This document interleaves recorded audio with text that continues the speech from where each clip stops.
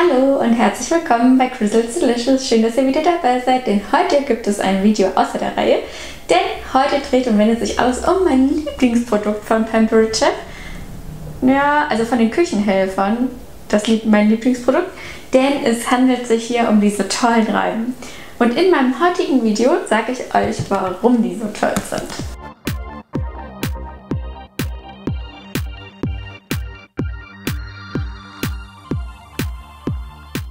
Wir haben einmal die grobe Reibe mit einem Lebensmittelaufsatz, die feine Reibe und die Zesterreibe. So, also was ist das Besondere an, diesen, an den Reiben? Das Besondere ist, dass wir hier ganz richtig scharfe Edelstahlklingen haben und die ermöglichen uns nicht nur, dass man jetzt zum Beispiel den Käse reibt, sondern den schneidet man richtig. Und das kommt uns dann richtig zugute bei der Reinigung, was ich aber insgesamt noch viel, viel besser finde oder viel, viel ähm, toller finde, ist, dass wir sie ein, also dass wir sie in verschiedenen Positionen verwenden können. Einmal in dieser ähm, Position hier haben wir unten rutschfeste Noppen dran, damit man das quasi abstellen kann und hier einfach runterreiben kann, so viel wie man braucht. Und außerdem kann man auch ähm, hier auf diesen mittleren Punkt mit dem Daumen drauf drücken und gleichzeitig nach oben schieben und dann quasi punktuell da ähm, zum Beispiel ein bisschen Käse rüber reiben, so viel wie ihr wollt. Denn wenn man so drüber reibt, sieht man nämlich ähm, ganz genau, wie viel Käse man braucht. Und ähm, ja, also das finde ich total toll. Also nicht nur zum Reiben, sondern auch, dass ihr die Möglichkeit habt, das einmal gerade im Schrank äh, zu verstauen. Oder wenn es nicht ganz so lang sein darf, kann man es ja auch genauso so in die Schublade tun.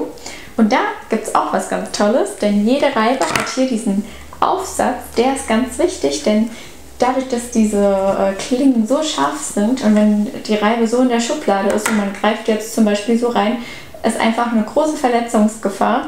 Ähm, vor allen Dingen, wenn man nicht allein in der Küche ist. Also wenn jetzt der Partner oder Besuch kommt und jemand macht die Schublade auf und verletzt sich, das wäre schon sehr, sehr ärgerlich. Deswegen gibt es hier diesen Schutz, den kann man einmal hier so unten drüber machen und dann so ganz sicher im Schrank verstauen.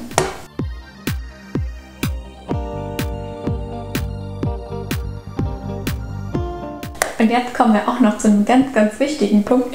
Ich habe vorher wirklich gar keine Reiben geliebt, weil ich mir irgendwie immer, ich habe mir immer meine Finger verletzt, weil ich dann irgendwie mit den Händen rangekommen bin. Oder noch schlimmer, es gibt ja auch Reiben mit diesen Aufsätzen, die aber keine Führungsschiene haben.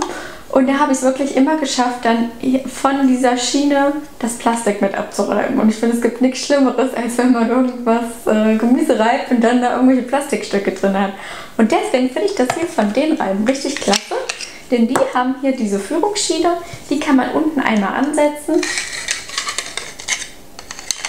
So, dann hat man das quasi in der Schiene richtig drin. Und bei der Feinreibe gibt es jetzt hier zum Beispiel auch noch hier diesen, diesen äh, Aufsatz mit drauf. Denn wenn man zum Beispiel äh, mit der Feinreibe könnt ihr zum Beispiel auch äh, die als Muskatnussreibe verwenden oder für Nüsse zum Beispiel. Und dann könnt ihr das quasi hier genauso mit aufsetzen, damit die Nuss nicht wegspringt. Und so könnt ihr da ganz sanft äh, drüber gleiten. Und ähm, durch diesen Aufsatz habt ihr quasi die Möglichkeit, es bis zum letzten zum letzten äh, Ding aufzureiben. Also ihr habt keine Reste und müsst euch keine Sorgen machen, dass ihr euch mit den Fingern dann irgendwie an der Reibe verletzt.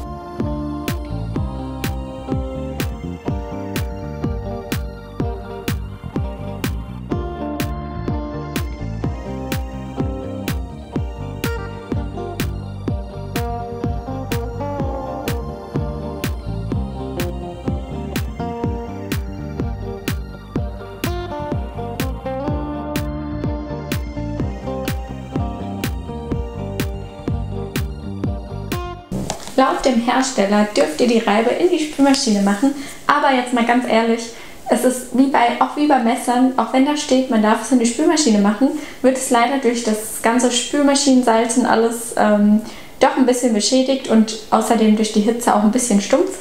Und es ist wirklich gar kein Akt. Also ich ähm, nehme einfach immer, halte die Reibe unter fließendem Wasser, nehme ein bisschen Spüli auf den Schwamm, wisch von unten nach oben, damit ihr euch den Schwamm nicht äh, kaputt macht und äh, wischt da einmal so lang, lass es, spül das Ganze ab, lass es trocknen, wisch es ab und dann, äh, also das ist wirklich getratzefatze. Das ist mein Tipp an euch. Wenn ihr lange, schöne, scharfe Klingen haben wollt, dann ist es immer besser, es einfach schnell mit der Hand äh, zu reinigen.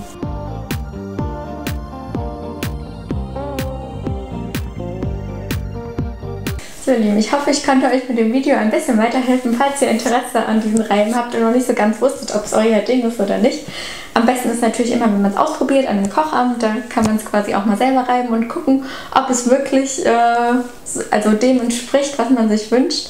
Und ich hoffe, euch hat das Video gefallen. Ich werde in Zukunft immer mal wieder so, so ein paar äh, Produktvorstellungen machen von meinen Lieblingsprodukten. Und ja, ich würde sagen, bis zum nächsten Mal. Tschüss!